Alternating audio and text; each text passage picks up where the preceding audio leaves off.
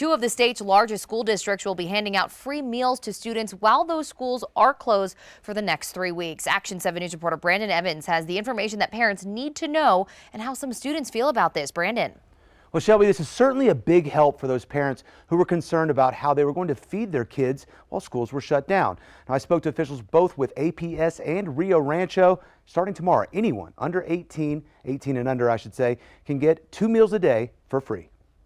We're just going to do basically like a drive-through restaurant and have staff out there handing out meals. APS says it's all federally funded by the USDA. APS staff will hand out breakfast and lunch meals from 10 a.m. to 1 p.m. Monday through Friday at 89 schools in Albuquerque. Any student could go to any of the available sites. They don't have to go to their exact school sites. Meals will be picked up at the student drop-off areas. Students can walk up or drive if they have a car, but parents who pick up the meals need to have their kids with them so the school can get an accurate head count. We have some fresh cut mangoes and cucumbers along with uh, bean burritos. Hopefully tomorrow is what we're planning on. We spoke with a middle school student about what she thinks of the meal program. I think it's a good thing because a lot of parents can afford to get meals and children are hungry and plus grocery stores are like empty so you can come here and get free meals and I think that's a great idea. APS says students who are homeless are also being taken care of as the district plans to deliver meals to the Westside Homeless Shelter. Even state lawmakers are stepping up. Our New Mexico legislators have asked how they can help